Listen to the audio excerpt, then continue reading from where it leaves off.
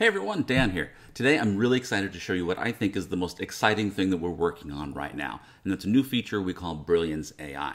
A lot of us love to shoot raw photos, but when you shoot raw and you download it to your computer, it never quite looks like what you remember when you were behind the camera. And that's where raw processing comes in. You have all of those basic raw processing sliders like exposure and brightness and contrast and color, and you have to go in and know how to adjust all of those. And all of those tend to actually interact with each other, so you have to adjust things multiple times. And sometimes it's hard to know how to get those settings right. Well, with Brilliance AI, we've trained several machine learning models to take the pain out of your raw processing for you.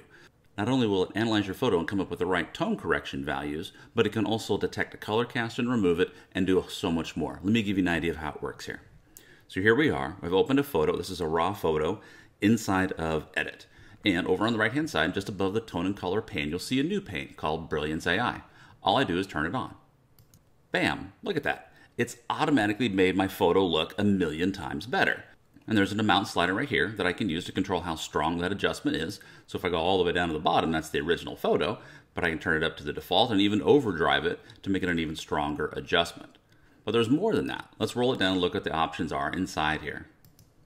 So inside, I can control the amount of tonal adjustment and the amount of color adjustment automatically. So it detected a color cast and it automatically added color correction to it. And I can dial in the amount of that color correction cast removal that I like.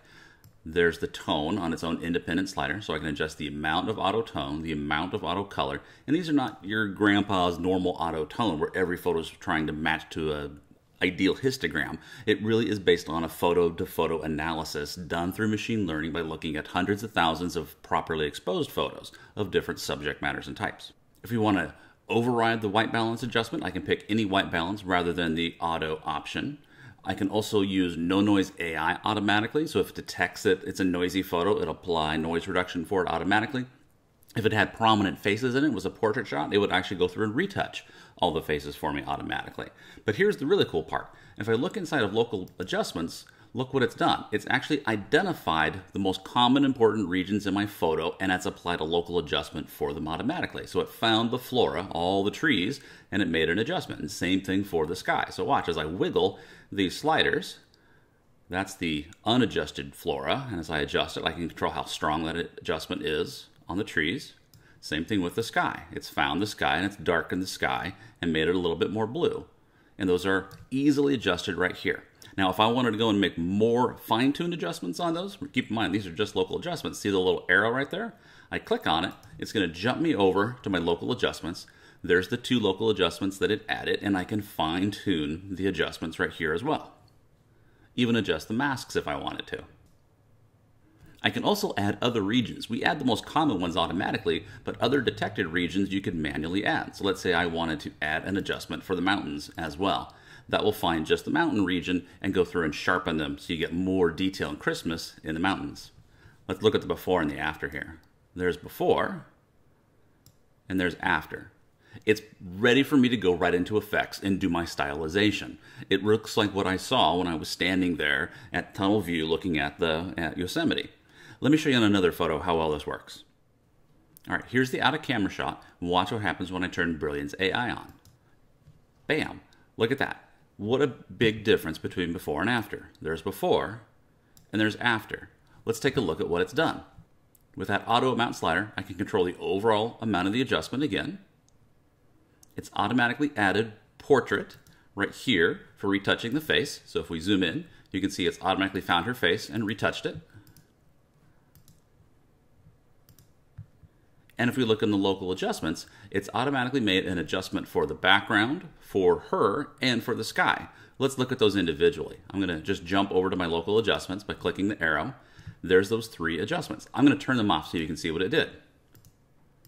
There we go. There's the original with just the auto tone and color applied and the portrait retouching applied. The sky, found the sky and darkened it. The background, darkened the background, making our subject pop off of it, and the people adjustment also enhances her a little bit so she pops off more off the background. Let's look at the before and after. Before and after.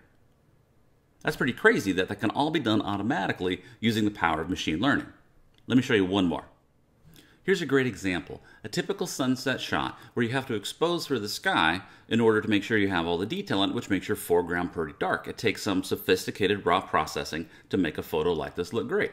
Or we just turn on Brilliance AI. And bam, you notice how the sky is maintained, but we've brought up the detail in the foreground, we've found the water, and we've enhanced it.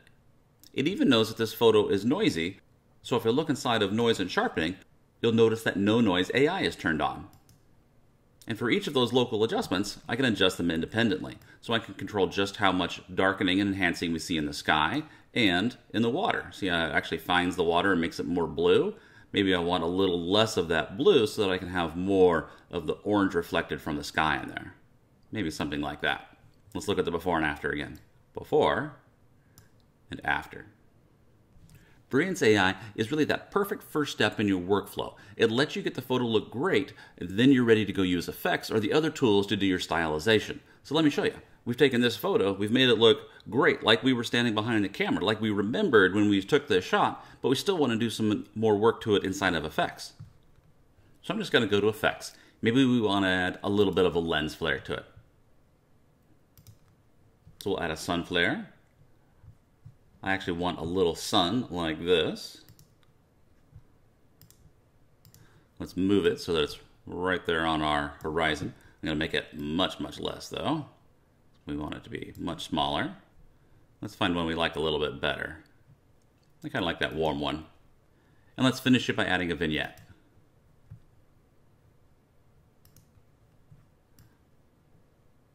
There we go. Wasn't that fun? I was able to go straight into my effects and have a lot of fun stylizing my photo without having to agonize about all those difficult raw processing sliders and adjustments. I was able to use the power of Brilliance AI to do all the hard work for me so I could get right to the fun part of photography. All right, there you go. That's Brilliance AI coming soon. Thanks for watching.